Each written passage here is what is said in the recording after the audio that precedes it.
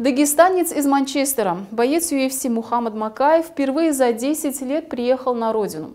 Здесь спортсмен уже больше двух недель тренируется в ведущих бойцовских и борцовских клубах. Макаеву всего 21, и он мечтает стать самым молодым чемпионом лиги в истории. О том, какие навыки восходящая звезда ММА оттачивает в Дагестане, узнал Курбан Рагимов. Ему слово. Этим разящим ударом в прыжке Мухаммад Макаев свалил с ног, а затем задушил своего первого соперника в UFC. Сразу после ударного дебюта уроженец Буйнакска с британским паспортом нашел время посетить родной край. Здесь он не был 10 лет, признается, скучал по людям и домашней кухне, но отдыхать времени сейчас нет. Хотел кушать дагестанское это сушеную колбасу. У нас как у нас как э, за границей, кто там привезет сушеную колбасу, там нам мы можем ее месяц там, да, месяц ее резать по кусочкам, а здесь может целый день кушать. Я как приехал, два-три дня там по гостям походил, понял, что я весь начну набирать, мне надо тренироваться.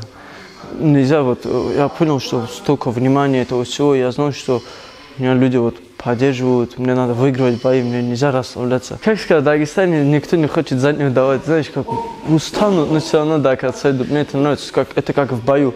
Находясь в Дагестане, Мухаммад не мог не попасть в зал вольной борьбы. Школа «Динамо», кузница борцов мирового класса. Именно здесь боец UFC оттачивает свои борцовские навыки. Вольную борьбу специалисты считают лучшей основой для ММА. Макаев – многократный чемпион Великобритании, но в Дагестане решил совершенствовать свое мастерство. Понимает, здесь всегда есть чему поучиться. Мечта о попадании на Олимпиаду не забыта, но пока у бойца другая цель. Моя цель – стать самым молодым чемпионом UFC, потом уже угу. вернусь. А сколько времени у тебя, чтобы осуществить эту цель? Тебе сейчас 21? Да.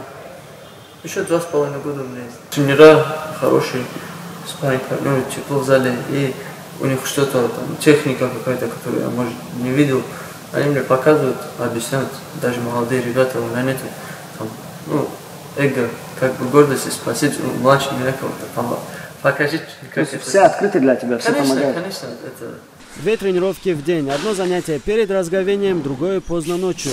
Таков график бойца в месяц Рамадан. В дагестанском филиале клуба KHK Макаева опекает Эльдар Эльдаров. Главный тренер команды уверен, сборы в Дагестане заметно улучшат навыки спортсмена. Он долго не был дома, и сейчас каждый хочет уделить внимание, пригласить к себе, как это обычно бывает. И сейчас и второй день за днем, и совмещать это с тренировками, конечно, ему нелегко, но это его отличает тоже от других, несмотря на всю эту загруженность встречи, он с сумкой всегда, я вижу его в городе, он после каждого мероприятия приходит в зал, отрабатывает. Э, и, конечно, ему это на пользу пойдет. Я думаю, сейчас самое время ему повариться в этой каше и еще больше окрепнуть и показать, что он не только в Европе номер один, но и он может во всем мире быть э, номером один. Макаев – двукратный чемпион мира среди любителей. В UFC он провел пока один бой, уже известно имя второго соперника. 23 июля дагестанец из Манчестера встретится с 31-летним американцем Чарльзом Джонсоном. Этот поединок пройдет в главном карде турнира в Великобритании. Я как раз этого и хотел, чтобы люди вот так говорили, что он хороший, опытный, чтобы не говорили какой-то очередного этого повел это, банку, знаешь. И, э, хороший боксер, хороший ударник, он вроде олимпийской сборной по бегу был. Ну, мы же бегать там не будем. Поэтому все, что от моих силах, я буду, я приложу силы, режим, тренировки. Все, что от меня зависит, я сделаю, а там уже клетки видно будет.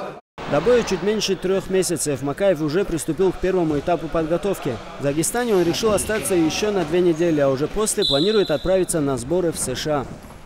Курбан Рагимов, Юнус Гитехмаев, телеканал ННТ, Махачкала.